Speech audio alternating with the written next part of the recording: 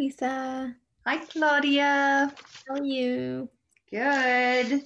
Good. So, we are going to um, do a little different podcast today that's going to have a little bit of a video. So, hopefully, this works.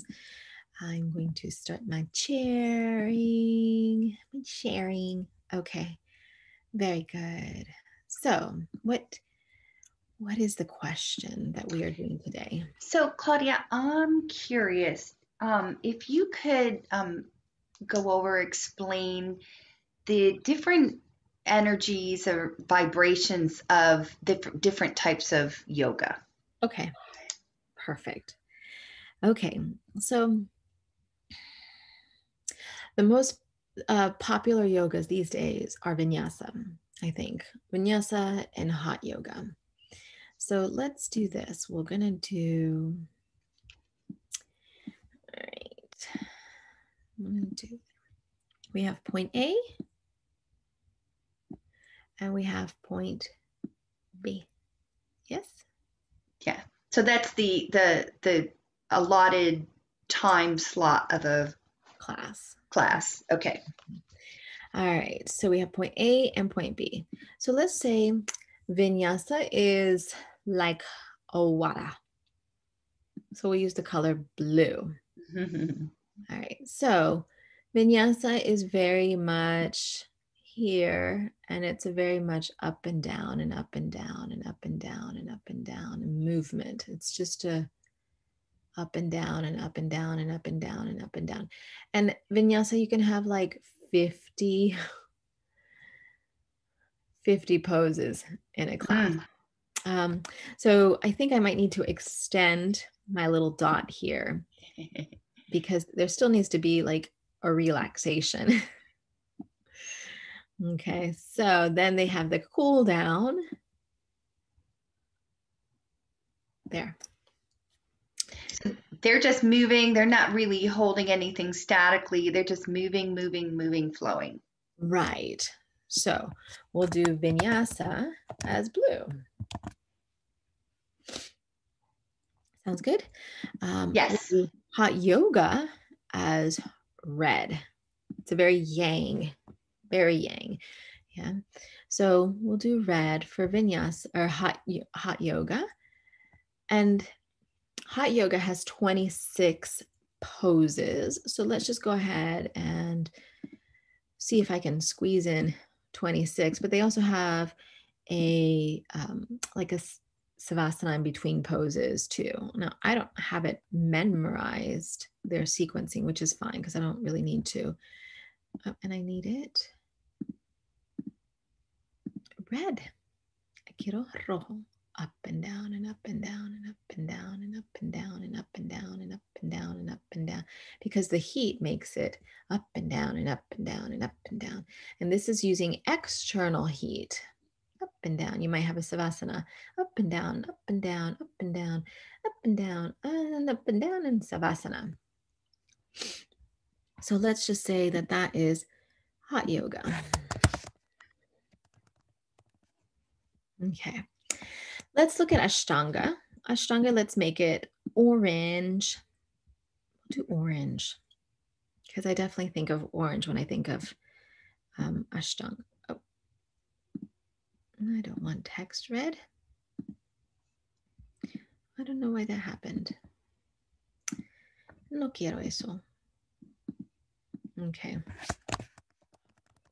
not very good with this thing, but that's okay. You're getting it. We understand. We're following you. Right. Okay. Thank you. okay. So Ashtanga yoga is also a very yang practice. Yeah. So this one is also going to be up and down because Ashtanga Vinyasa is the actual name of Ashtanga Yoga, but you're using internal heat as opposed to external heat. Then you have a winding down series. There. So we've got that as Ashtanga. Vinyasa, proper name. Okay, restorative yoga. Ooh, let's do a light blue because it's a very cooling practice. One second, I do not want Ashtanga. There. Okay. So let's look at that as a light blue. So restorative yoga is going to be very low to the ground, very actually let me erase that because restorative yoga you don't do a lot of poses. So you can see that it's a lot of holding and restoring. Mm-hmm. And I will say that um, a lot of people, restorative yoga is now titled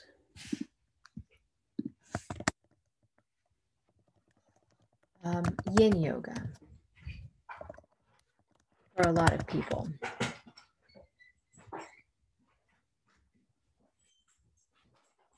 Make sense?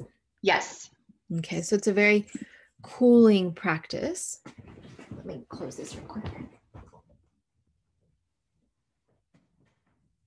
I know the dogs will always work their way in. cooling. This is more a static, slow, mm-hmm. flowing practice. Not necessarily flowing. You're restoring your body back to balance using gravity. So you're holding the pose, and most of them are all reclining, or not not reclining, but they're all touching. They're really close to the ground. Though there are restorative poses that you can take, like for example, you can do a standing forward fold and make it a restorative pose by allowing the body just to kind of hang, right? Right. But before it used to be yin classes would just prop your body up using your body as props. Mm-hmm. Restorative was using props to restore your body back to balance using gravity. Okay. But people have slowly, you know, changed it so that yin classes have props and because the feminine energy, the yin energy, is a very cooling, relaxing energy as opposed to yang. Mm-hmm. So then um, the other style of yoga is what what I teach, and I'm going to use green. Yay! I'm going to use a medium green. Um, and it is hatha yoga. Mm-hmm. And hatha yoga goes here. You begin grounded. Oh, that's blue. I don't want blue. I want, I'm going to do green. I'm going to do a forest green. and you warm up little by little. And you start to build up a little bit of heat. Yeah. And you don't do as many poses. And you're breathing in and breathing out. And you might have a peak. And after the peak, you start to wind down. And then you slowly trickle your way into Savasana. And that's what I absolutely love because it's a very, in my opinion, balanced practice. What were you to ask me? Yeah, I like, um, you know, practicing with you. It's allowing that space to bring ourselves to that quiet mind. You know, mm-hmm. what I'm seeing from the energy of other practices is you're jumping right in. You're, there's not, we're with the hatha, when I've practiced with you, I'm really appreciating we come to the mat, we connect to our breath, we quiet the mind, go within to really be ready to uh, go into the asanas. Yeah, so I like to divide the practice into three parts. There's an mm-hmm. awakening part. Yes. There's a, a being part, and then there's a winding down part, just like our day. Just like yes. our day. So if we go here, when we look at it, let's say the day starts at 6 a.m. And then it ends at 6 p.m. Let's just go with the cycle. Yeah, we've got the noon, yeah, 12 p.m. Mm-hmm. Yeah, and our day is really happening, starting to happen at 10 a.m. Right. And then for me, siesta time at 2 p.m. I like to think of, you know, which means that my winding down, winding down, uh, really of like the winding down process happens around 4 p.m. Mm-hmm. Right. And we get to the peak of our day, just like the sun at 2 Yes. p.m. Like you don't want to be in the sun from 1 to 3. That's not the best for the skin. Right? That's the time that you're supposed to like start turning inward and decompressing, right? And so that's the approach that I take when we're on the mat. Yeah, we have a whole day on the mat, but we also have a whole life on the mat. When we mm-hmm. look at our lives, if we take it into years, yeah, we are born. Huh? Yeah, we're born. Yeah, and then we die. The sun rises, the sun sets. Yeah, we have. When is the peak of our practice? Well, I know now with like people being able to live longer, the peaks changed a little bit, but and everybody's peak is different because they may have been through different traumas or experiences of life, or even from their birth to their death, it may be different. But the peak of their life is like really like the best times. And we have lots of different peaks throughout our life, right?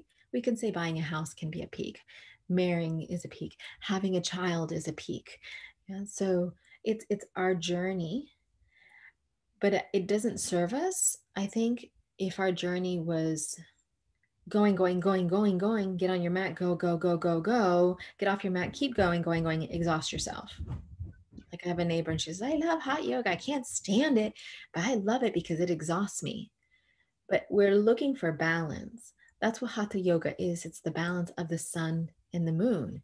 Yeah, the sun is the birth of the day. The moon is the death. But we need both. There are nocturnal animals and there are animals that, you know, we live in the day. If we were supposed to be nocturnal, we would have nocturnal eyes, which would be bugging and more open and wide, right? Mm. But we're not. We have the ability to look only during the day, not at night. Mhm. So it's a disservice to ourselves, you know, when we keep technology and all kinds of stuff on at night, which is why a lot of people can't necessarily, they have difficulty going to sleep.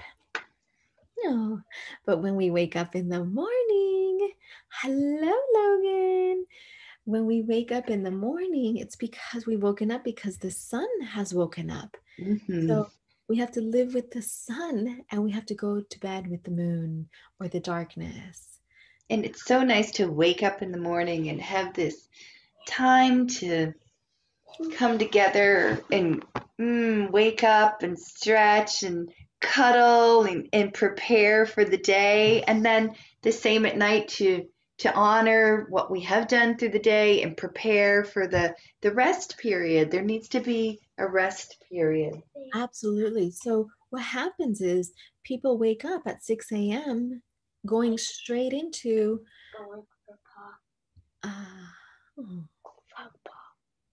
Okay.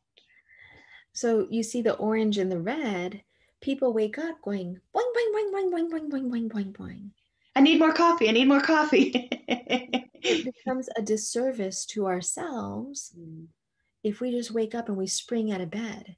So that's why I encourage people to lie in bed for a little bit, hit the snoozer if you need to hit the snoozer before you jump out of bed. You don't need to jump out of bed. Everything is intentional. And with hatha yoga, it gives us that ability to slowly wake up. And I remember growing up, my father would just take the sheets off. He'd open the door and he'd just pull the sheets off of me. Get up. And he'd be like, levántate, which means to get up. And it's like, yeah. what I do to my dad. Not sleeping. would not be good. But we'd like to go wake up. Oh, maybe I'll mm, stretch, get some cuddles. yeah, when I'm up, I'm up. When you're up, you're up. Mm-hmm. So I'm going to conclude this, but I want to thank you. I think that's a great question. And this is, I'll post this image so we have it.